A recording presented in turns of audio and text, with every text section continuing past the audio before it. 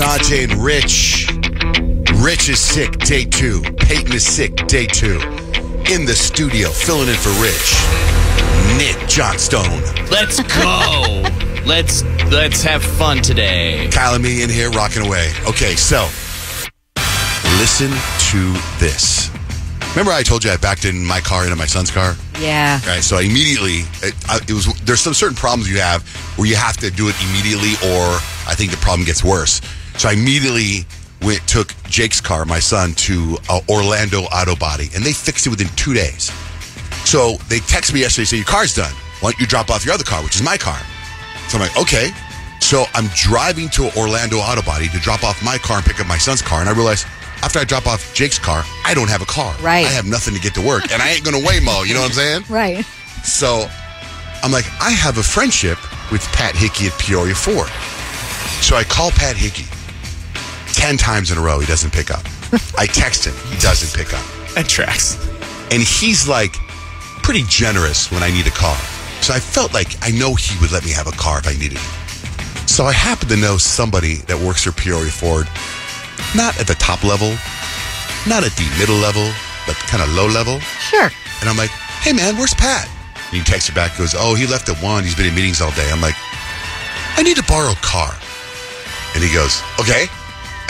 he goes, what do you need? And I go, I'll take anything. I just don't have a car. I just dropped my car for the shop. And he goes, I have this, this, or this. I go, just whatever. It doesn't matter. And then he texts me and he goes, okay, it's all set up for you at the dealership. Come get it. And I'm like, I don't have a car. and he goes, Oh, okay. I can have my guys drop it off. So my son Dutch had a basketball game yesterday at seven o'clock at night. At six ten, Peoria Ford is dropping off a car for me. I get in the car and I go, Thank you so much. I was in a hurry and I leave with the car. Take Dutch and my wife.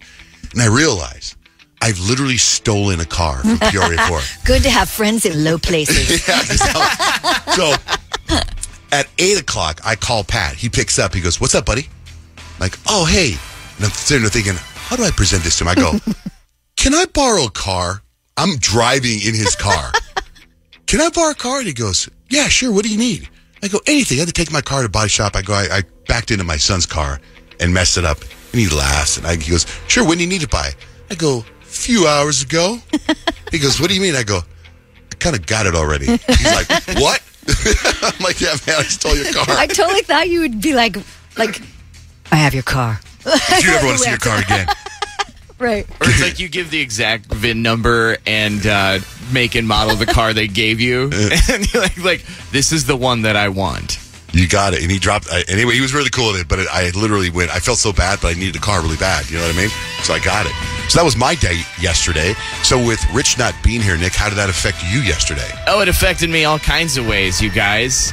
Uh, you know, it it's it's one of those things, and and I'm happy to to help any way I can. You know, but when we're two people down, it does affect everyone. Especially you. And so, you know, we had some meetings that ran late yesterday, and before I knew it, it was two o'clock. Now I get here every day about 4.15, 4.30. And so by that time, I'm like completely dragging, and I realize I have not ate today. Like I've had like little snacks here and there, but I've not had like an actual meal. And then when I get home, I'm like, I'm so tired. I'm, I'm going. I, the nap is the priority, mhm. right? Yep. So I take my nap. I get up, and it's 4:30, and I'm like, well, I can't eat now because it's almost dinner time. So I go and pick up my kids, and my wife is supposed to get like in, you get back from a business trip last night. Her flight's delayed, and so like I like to eat dinner with her. So I feed the kids and then wait for her. Then by the time she gets home, it's after seven o'clock. Now we have to put the kids to bed. And as she's putting my daughter to bed, I'm like, I can't take it anymore. I just, I have to find something. And so she's getting, you know, the teeth brushed and the, and going potty and whatever else. And so I'm like, I sneak to the fridge. I'm like, there's a jar of pickles in here.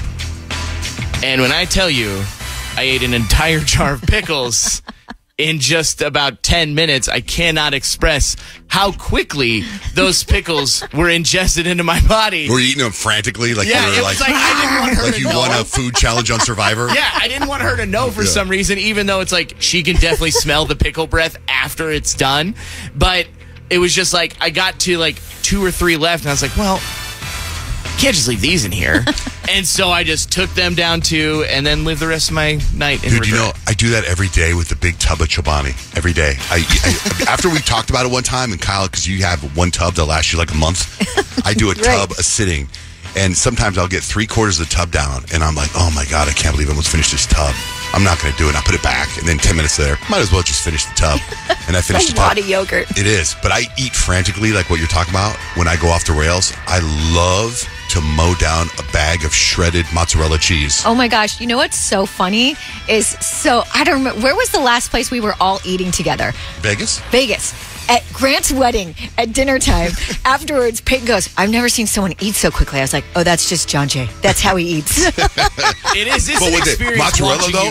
I op- put my hand in the bag and I'm like, oh, Cookie Monster.